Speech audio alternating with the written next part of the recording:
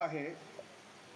तो एक भिक्खू संघ मुंबई आणि बुद्धिस्ट इंटरनॅशनल नेटवर्क यांच्या संयुक्त विद्यमाने साजरा केलेला आहे.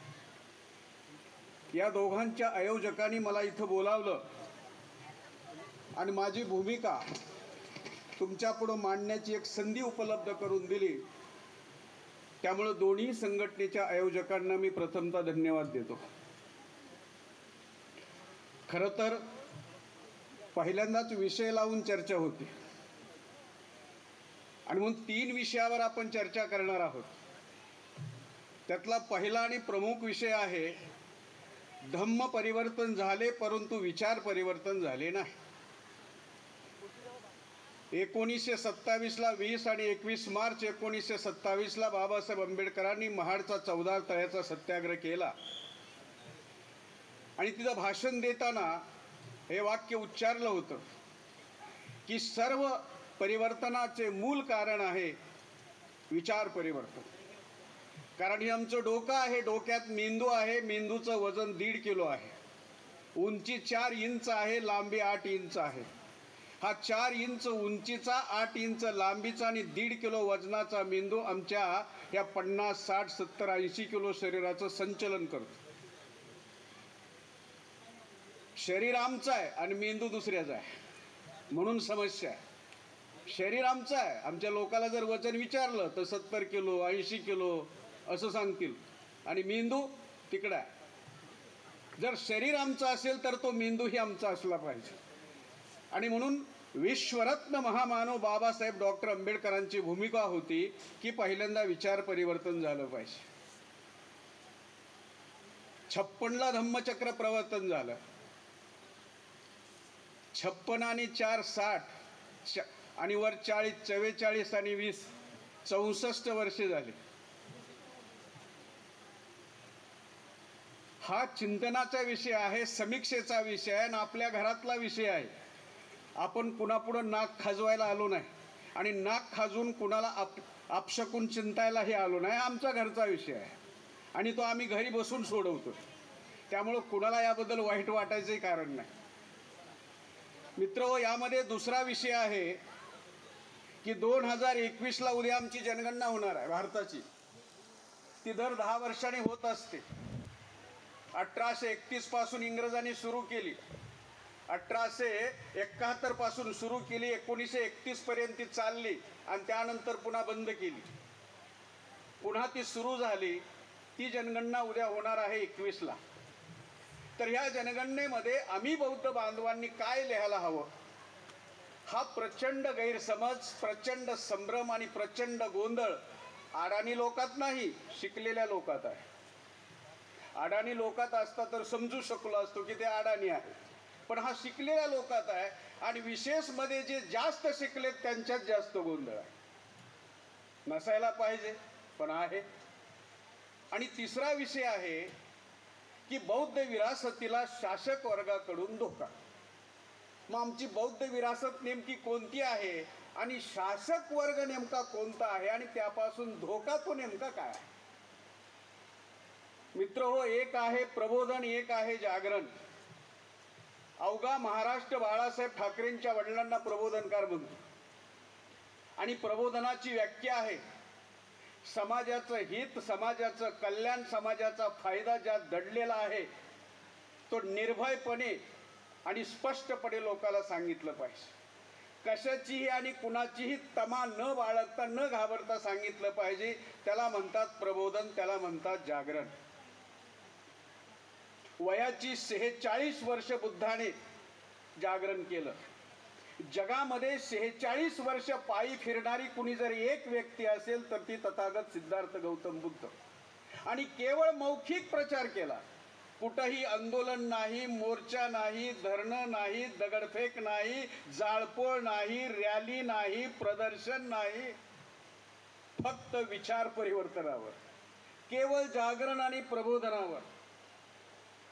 एक मनुष्य करू शकतो आम्ही जर त्यांचे अनुयायी म्हणवत असू तर आम्ही सुद्धा ते करू शकतो. जागरण कशाला म्हणतात? जागरणाचे पाच सिद्धांत आहेत. सगळ्यात पहिल्यांदा त्याला जागृत मानता येईल ज्याला शत्रूची ओळख आहे. नंबर दोन त्याला मित्राची ओळख आहे. नंबर तीन त्याला शत्रूच्या ताकदीची आणि कमजोरीची माहिती आहे. नंबर चार त्याला स्वतःच्या ताकदीची आणि कमजोरीची माहिती आहे. आणि नंबर पाच ज्याला इतिहास माहीत आहे त्याला जागृत म्हणता येईल. आम्ही कितीही शिकलेला असो आणि या पाच गोष्टी जर आम्हाला माहीत नसतील तर आम्ही जागृत असू शकत नाही. म्हणून शिक्षणाचा आणि आजच्या जागृतीचा काहीही संबंध नाही. संबंध असता तर ही वेळ आली नसती. शिकला म्हणजे जागृत झाला हे खोटं आहे. जर तुम्हाला सहज प्रश्न विचारला किती शिकले होते बुद्ध? कुठल्या युनिव्हर्सिटीची डिग्री होती? काय सांगता येईल कुणाला? पण बुद्धाला सहासष्ट नोबेल पारितोषिक विजेत्याने आपला गुरु मानलं. सहासष्ट. आणि त्यातला पहिला आईन्स्टाईन आणि शेवटचा अमर्त्य सेन. आणि अमर्त्य सेन साधा सुद्धा नाही हार्वर्ड युनिव्हर्सिटीमध्ये शिकलेला. आणि बुद्ध किती शिकले? शिकलेच नाही. म्हणजे शिक्षणाचा आणि बुद्धीचा संबंध गलत. म्हणून हे जे संभ्रम आमच्यामध्ये निर्माण केलेत मित्र हो ते संभ्रम आधी आम्हाला दूर करावे लागतील निखळ प्रबोधन आणि निखळ सगळं जागरण समाजामध्ये करावं लागेल. जे बुद्धाने त्या काळात केलं अडीच हजार वर्षापूर्वी जगामध्ये सर्वात मोठं केडरबेस ऑर्गनायझेशन बुद्धाचं होतं. अँड दॅट इज भिक्खू संघ अडीच हजार वर्षापूर्वी प्रशिक्षण देऊन ते संघाला भिक्कूंना तयार करून ते प्रचार आणि प्रसार करत होते. ही एक विरासत आहे. मग याचं काय झालं? म्हणून या तीन महत्त्वपूर्ण विषयावर चर्चा करण्यासाठी विषय लावून ही धम्म परिषद भरली आहे. खरं तर मी भिक्खू संघाचा खूप आभारी आहे. की त्यांनी ह्या गोष्टीला समर्थन दिलं होकार दिला पाठिंबा दिला. आणि धार्मिक काम करता करता सामाजिक काम सुद्धा झालं पाहिजे याच्यावर जो जोर दिला तो यातून दिसतो. मित्र हो माझं एक आवाहन आहे मी सांगण्यापूर्वी की मी जे सांगेल ते खरे मानू नका असा माझा बिलकुल आग्रह नाही. मी जे तुमच्याशी बोलणार आहे जी चर्चा करणार आहे ते माझं तुम्ही जसंच्या तसं खरं माना हा माझा बिलकुल आग्रह नाही. पण माझी एक हात जोडून विनंती आहे तुम्हाला स्वीकारू नका पण ऐका. ऐका. आमची सगळ्यात मोठी समस्या आहे आम्ही ऐकतच नाही. आणि जे ऐकतात त्यांना समजत नाही. आणि ज्यांना समजतं ते दुसऱ्याला सांगत नाही. फार समस्या आहेत आमच्या. एकतर आम्ही ऐकतच नाही. जे ऐकतात त्यांना समजत नाही. ज्यांना समजतं ते दुसऱ्याला सांगत नाही. का सांगत नाही? कारण ते म्हणतील तुला समजतं तर तूच कर ना. आम्हाला कशाला सांग? मग ती जबाबदारी घ्यायला नको आहे. जबाबदारी घ्यायला नको आहे. त्यामुळं माझी आपणास विनंती आहे की ऐकण्याचा आग्रह आहे स्वीकारण्याचा आग्रह नाही. आणि झोपण्यापूर्वी झोपण्यापूर्वी याच्यावर विचार केला की हे जे सांगितलं ह्या माणसाने जे सांगितलं जो बोलला यामुळं माझ्या जीवनावर आणि माझ्या भविष्यावर माझ्या मुलाबाळाच्या भविष्यावर याचा काय परिणाम होणार आहे? बरेच लोक या धम्म परिषदेमध्ये हिंदी आहेत हिंदी भाषिक आहेत. आणि त्यांचा आग्रह आहे की मी हिंदी बोलावं. आता कुठलं तरी एक सांगा. नाही तसं ठीक आहे मराठी बोलूया आणि जे हिंदी भाषिक आहेत त्यांच्यासाठी दुसरा कार्यक्रम ठेवूया. आता काहीतरी मार्ग तर काढला पाहिजे.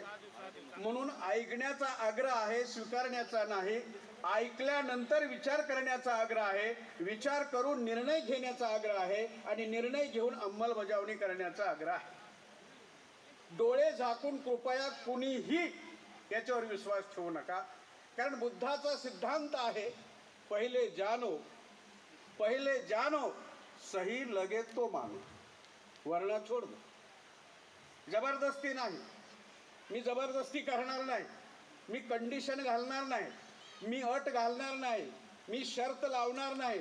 कारण आम्हाला माहिती आहे सत्तर वर्ष कंडिशन घातल्यामुळं फार सत्यानाच झालं. हेच करा असंच करा तसंच करा हे करूच नका. गेले लोक दूर. कंडिशन घातल्यामुळं लोक दूर जातात आणि कंडिशन नाही घातल्यावर लोक जवळ येतात. म्हणून मी कंडिशन घातलं घालणार नाही. मी जबरदस्ती करणार नाही. कारण हा बुद्धाचा सिद्धांत आहे माझा सिद्धांत नाही मी फार साधारण मनुष्य आहे. एक संत सेवालाल महाराज आहेत त्यांनीही बुद्धाचा सिद्धांत पुढे सांगितला. जे वंजारी आहेत बंजर आहेत पहिले जान जो पछी छान जो पछच मान जो जान जो छान जो पचच मान जो म्हणजे जाणून घ्या तपासून पहा. बुद्धा केवी आगे. आणि नंतर स्वीकार करा. कोणी सांगतंय म्हणून नाही तो पंडित आहे म्हणून नाही धर्माचारी आहे म्हणून नाही गुरु आहे म्हणून नाही तुमच्या बुद्धीला सतसत एक बुद्धीला पटतंय का? पटत असेल तर स्वीकार. कारण ऐकण्याचा आग्रह आहे स्वीकारण्याचा आग्रह नाही. कुठलाही जगातला वक्ता असं सांगणार नाही की माझ्या बोलण्यावर विश्वास ठेवू नका. मी स्वतः सांगतो की मी जे सांगतोय त्यावर बिलकुल विश्वास ठेवू नका. पण ऐका आणि रात्री झोपण्याच्या पूर्वी मात्र याचा विचार जरूर करा. मित्र हो पहिला विषय आहे धम्म परिवर्तन झाले परंतु विचार परिवर्तनाचं काय? याची पार्श्वभूमी मी हा विषय पाच मुद्द्यामध्ये डिव्हाइड केलेला आहे. एक पार्श्वभूमी त्याच्यानंतर क्रांती त्याच्यानंतर प्रतिक्रांती त्याच्यानंतर बाबासाहेब आंबेडकरांची त्रिसूत्री आणि उपाय. हे ते पाच मुद्दे आहेत. आणि त्यावर मी माझे विचार संघटनेचे विचार तुमच्यापर्यंत पोहोचवण्याचा प्रयत्न करणार आहे. मित्र वीस आणि बावीस एकवीस आणि बावीस मार्च एकोणीसशे वीसला माणगावला परिषद घेतली बाबासाहेबांनी कोल्हापूर जिल्ह्यात. आणि ह्या माणगावच्या परिषदेमध्ये आपल्या जीवनाचं उद्दिष्ट निर्धारित केलं आणि ते बोलून दाखवलं. बाबासाहेबांनी त्यांच्या जीवनाचं उद्दिष्ट निर्धारित केलं आणि ते बोलून दाखवलं कोणतं? माझ्या जीवनाचं उद्दिष्ट आहे न्याय स्वातंत्र्य समता आणि बंधुभाव यावर आधारित नवा समाज नवे राष्ट्र नवा देश नवा भारत निर्माण करणं. आम्ही माणगावला जातो. पण ह्याचं काय? काय? न्याय स्वातंत्र्य समता आणि बंधुभावावर आधारित नवा भारत नवा देश नवा समाज नवं राष्ट्र निर्माण झालंय. आणि जर नाही तर कोण जबाबदार? शिकलेले की अडाणी? तर अडाण्याला कसं जबाबदार धरतायत म्हणून ते शिकलेल्याकडे येत. आणि जास्त शिकलेल्याकडे जास्त येतं. कारण ते घरावर पाट्या लावून सांगतात ना M A P H D म्हणून. तर तेवढी जबाबदारी घेतली पाहिजे ना. पुन्हा वीस मार्च एकोणीसशे सत्तावीसला महाडचा चौदार तळ्याचा सत्याग्रह बाबासाहेबांनी केला. त्या सत्याग्रहाच्या वेळी बाबासाहेब आंबेडकरांनी पुन्हा हीच घोषणा केली की न्याय स्वातंत्र्य समता आणि बंधुभाव यावर आधारित नवा समाज नवा देश नवा भारत नवं राष्ट्र निर्माण करणं हा माझ्या जीवनाचा उद्देश आहे. काय पूर्ण झालं? जबाबदार कोण? नंबर तीन तेरा ऑक्टोबर एकोणीसशे पस्तीसला येवला जिल्हा नाशिक. या ठिकाणी बाबासाहेबांनी घोषणा केली की न्याय स्वातंत्र्य समता आणि बंधुभाव यावर आधारित नवा भारत नवा समाज नवा देश नवं राष्ट्र निर्माण करणं हा माझा उद्देश आहे. आणि त्यात पुढं असंही म्हटलं की हिंदू धर्मात जन्माला आलो हे माझ्या हातात नव्हतं पण हिंदू धर्मात मी मरणार नाही कारण मरण माझ्या हातात आहे जन्म घेणं माझ्या हातात नाही. यानंतर बाबासाहेब आंबेडकरांनी सव्वीस नोव्हेंबर एकोणीसशे एकोणपन्नास ला जी भारताची घटना लिहिली दोन वर्ष अकरा महिने आणि अठरा दिवसात ज्यामध्ये तीनशे पंच्याण्णव कलम आणि बारा परिशिष्ट आहेत ही भारताची राज्य घटना भारताच्या राष्ट्रपतीला डॉक्टर राजेंद्र प्रसाद यांना सुपूर्द करताना बाबासाहेब म्हणाले की माझ्या संविधानाचा उद्देश आहे आणि तो लिहिलेला आहे उद्देश पत्रिकेमध्ये काय उद्देश आहे संविधानाचा? न्याय स्वातंत्र्य समता आणि बंधुभाव यावर आधारित नवा समाज नवा देश नवा भारत नवे राष्ट्र निर्माण करणे. पाच नंबरला चौदा ऑक्टोबर एकोणीसशे